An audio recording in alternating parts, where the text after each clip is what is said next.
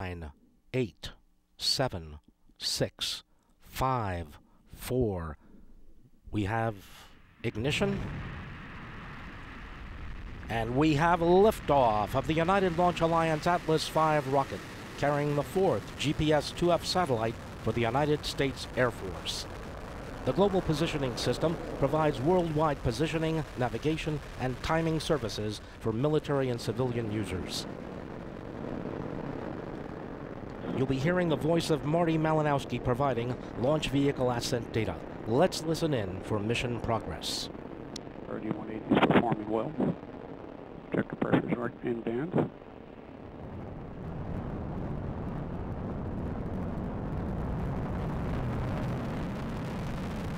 Speeds continue to look good.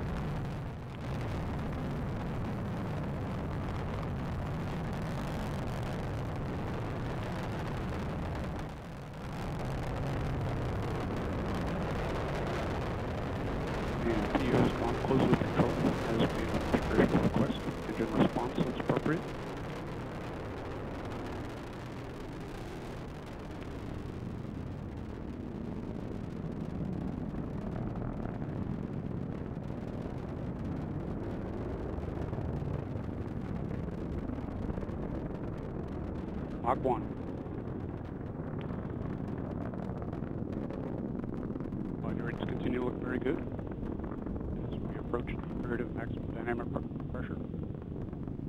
Max Q. Booster has throttled down, right on schedule. Response looks good. Current altitude is 10.2 miles. Downrange distance is 4.8 miles. Current velocity is 18,000 or 1,858 miles per hour.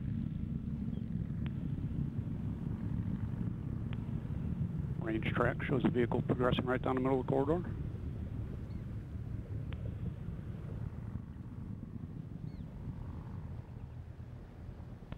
Booster